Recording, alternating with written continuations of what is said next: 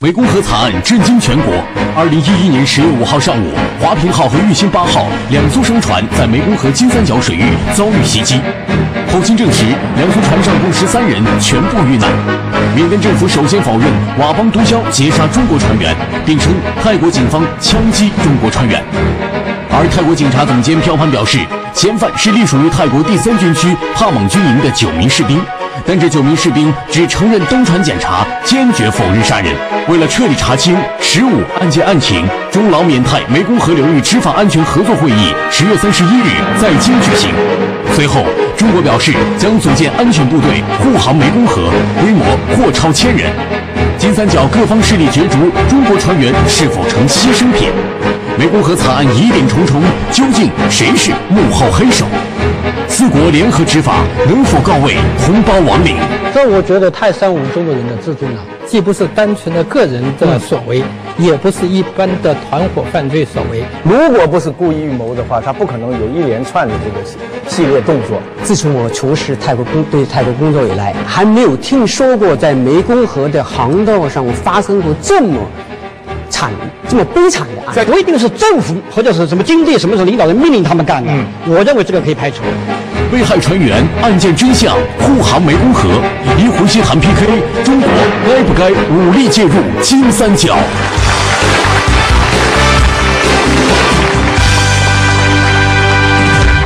一虎一席谈。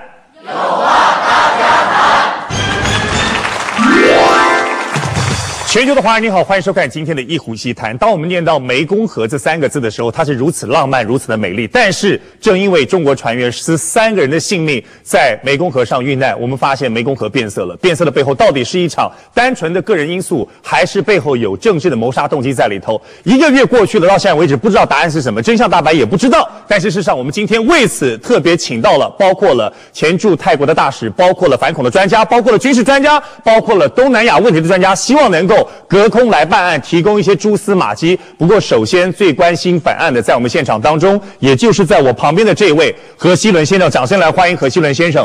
呃，我想今天的这个掌声不仅是来欢迎你来到现场，其实也是给你打气跟加油。因为我知道今天他千里迢迢从遇难者的现场来到了现场，他的哥哥跟嫂嫂就是这十三个遇难者的其中这两位。我们再次掌声欢迎西伦，因为这这个声音，不要忘了。今天你来到我们现场当中，希望透过我们接下来一个小时当中，能让你有更多的蛛丝马迹，也希望呼唤有关单位来重视这个事情。我想希伦首先告诉我们一个事情，你自己本身当中啊，到这一个月来，对你来讲一定是很难受的。但是我一直很好奇一件事情，哥哥跟嫂嫂一个月前已经往生了，到现在为止你还没有火化，真正的原因是什么？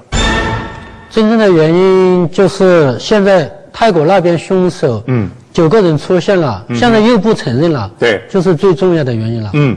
那个，我觉得嘛，就是如果说到九个凶手已经认罪了的情况之下，呃，火化他们的遗体，我觉得让他们早一点入土为安。所以你就是不甘心？你觉得到目前为止？到目前为止，泰国政府没有一个官方的表态向中国人民赔礼道歉。嗯哼。呃，凶手也不认罪。嗯。这我觉得太伤我们中国人的自尊了。嗯，我希望今天有相关的，包括驻泰国的前大使，还包括相关的专家都在这里，给他加油打气，好吗？谢谢。他的呼唤到底能不能得到相关单位的重视？在接下来一个小时当中，我们也希望透过专家给我们解读。不过，首先我是要请教一下李伟，李伟是反恐的专家。如果从反恐角度，我们来看一下这个整个事情的发生过程。湄公河的劫杀事件的示意图，从十月五号一个多月前九点半的时候，当时你可以看到九点半的时候，至少七八名疑为毒贩的武装匪徒登船，然后呢侠船了离开，再到过去，接着是在中午十二点，十二点的时候是什么呢？玉兴八号船长向兄弟船只发出了紧急的呼救，然后说有人受伤了。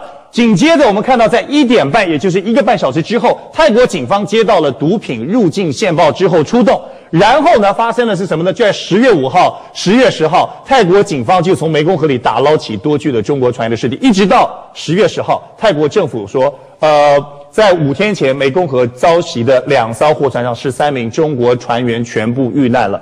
这边的很多的蛛丝马迹，对你专家来说，其实都有意义的。你看到了什么？这是一个单纯的个人行为吗？首先，我们看到呢，这整个过程来说呢，我个人认为呢，既不是单纯的个人的所为，也不是一般的团伙犯罪所为。我们重点呢，我们看刚才大家提了几个方面。第一个呢，我们不要把这个目光呢仅仅盯在泰国，嗯，因为我们看刚才第一幅金三角的示意图，我们可以很清晰的看到，呃，澜沧江到湄公河首先经过的呢是缅老共同拥有的湄公河，然后进入泰国就是在清盛港港口，嗯，最后发现这样船只的。从人员的尸体发现的过程来看，我个人认为呢，它是有一个逐渐杀人、逐渐抛尸的过程。嗯，所以说呢，第一现场究竟是在泰国还是在缅甸的梦喜滩，这一个呢，我个人认为呢是值得呢我们进一步思索的。因为从整个过程以及这些遇难船员被呃残杀折磨的过程来看，它不是一个短时期可以做的。嗯，而且呢，尸体的打捞的不同的位置呢。根据河水河流可以看出来呢，它是在逐个逐个的抛尸。嗯，所以说呢，它是不是说集中发现？也有集中发现，可能是呢，就是说集中抛尸这样一个过程。所以看来呢，这些作案人员呢，等于在船上是手呃有恃无恐的，一个一个的把我们船员控制起来。我们也知道呢，有些船员舌头被割了，有些船员呢眼球也被挖出来了，所以这是非常残忍的一种。呃，犯罪行为，而且这种犯罪行为，我们说呢，要一般的杀人越货，他是不不会这样做的。所以说我个人认为呢，背后肯定有很深刻的根源在里面，这值得我们今天深思并且探索的。嗯，好，李伟先生再从他的专业角度来判断，包括第一现场其实到底是不是清盛港，这都还是一个很大的疑问。包括时机点，还有一点时间，大家别忘了，这是在大白天所发生的事情。其实就像中国的官方所说的，它两岸是有人的，上面是有船只的，难道没有其他的目击者吗？今天还有一位，也是一个老船长，来，老吴来到现场，掌声欢迎老吴。老吴来到我这旁边来，也特别从湄公河，你老吴在湄公河已经有待了十多年了嘛，在那边航行的经验，十多年的张经验，这些拍摄是你所带来的，对吧？在。网络上第一个爆料的就是你，这些照片当中有哪些的端倪？你可以帮我们衍生一下。等于说他这里的话，他有一个目击证人。对，这边有一个目击证人。对，这里有个目击证人。在老挝的这个船上对，这里有个目击证人。这边有一个目击证人。对。然后的话，他在这里的话，我主要是想讲的是这里。他这里是初次船舶。嗯哼。他靠这里，这个水的流向是这样的。嗯。是 S 型的。哦哈。S 型的。他如果是河中心抛尸的话，他那个尸体会冲到老挝的金木棉岛。嗯哼。那么他如果是在这里抛尸的话，他的尸体全部就在泰国一侧。嗯，是这样的。嗯哼。所以说，我们就可以肯定的话。抛尸现场的话，一定是在泰国、泰国、泰国一侧。抛尸现场，你的推测，你所得到的讯息，你觉得应该是在泰国这边？因为，因为根据我的这个航行，这个对水文的水文的了解的话，他这个抛尸现场一定在泰国境内。好，抛尸现场在泰国境内，这是你所得到的第一个。那还有另外的呢？你想特别补充的是？然后我想补充的话，就是说这里当时的事发的时候，嗯，中国有二十多艘船舶在清盛港，嗯，当时他们听到那个杨德一嘛，余兴八号杨德一的呼叫之后，他们往这个吊车码头这里赶。大概有七八公里，但他们在到到这里有一个大圆球，我们船员讲的大圆球的那里的时候，被泰国的警察和军方全部阻拦在这边建言，嗯，全部建言了，嗯，就是进不去。然后直到我们中国的船员能上去的时候，已经是下午五点的时候了，嗯哼，下午五点了，嗯。其他的大概就这这些情况，所以从你的判断来讲，还包括你们周边的其他的船员的判断，都认为这件事情绝对不是简单的个人行为。对对对对对，因为他那个现场的那个痕迹那些判断的话，就是在泰国境内这边抛的尸。嗯哼，也是来等到一个答案的。对，就希望来等到一个答案。好，谢谢老吴，谢谢。那么请请说，请说。对，我想补充一点，就是在抛尸的现场嘛，因为这两张船，华平号是最先靠岸的。嗯。他靠了岸以后，船员去到岸上拴钢丝绳，回到船上。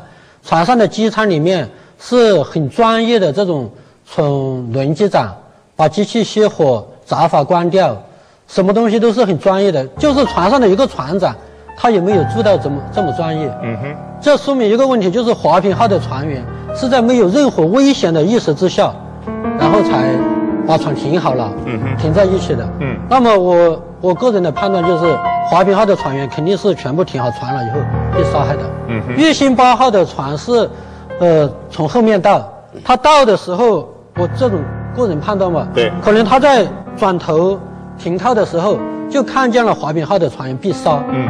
然后船长就马上呼救，啊，有人受伤了，嗯可能那一分钟他不是说我们自己船上的人必杀，嗯是看见别人的船必杀，马上就呼救，呼救了以后，那个船也靠到靠过去了，跟滑冰要靠停在一起了。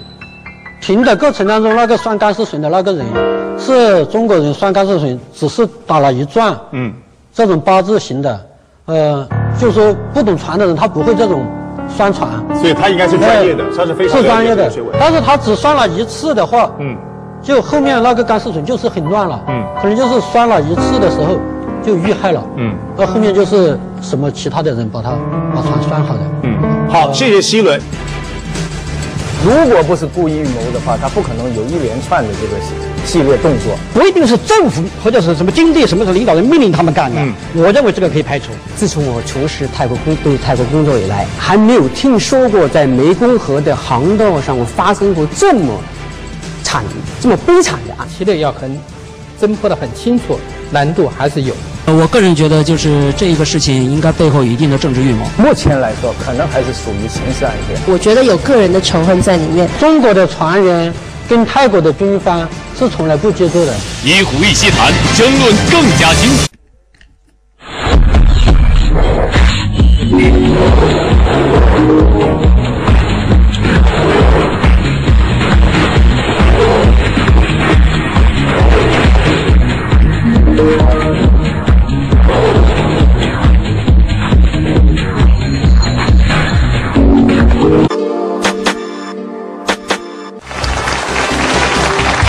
彩。刚刚在说的是也特别强调点，当然，当然这是他个人判断，当然还有对这件事情的本身来讲，他有相当大的情感的因素所在。包括李杰从个军事专家角度来讲，我们跳到了军事层面来看。不过从你一个第三者的角度来看待这整个的事情，它是有蹊跷，蹊跷在哪里？我觉得首先就是根根据刚才何其伦、还有吴船长、还有李伟这个综合分析呢，我觉得他是一个故意、故意、故意的故意预谋。因为如果不是故意预谋的话，他不可能有一连串的这个系系列动作，而且是很专业的这种系列动作。同时呢，他这个时间是大大白天，而且也有这个目击证人。但是现在从十月五号到今天十一月十号吧，嗯，过了一个月零五天之后呢，现在。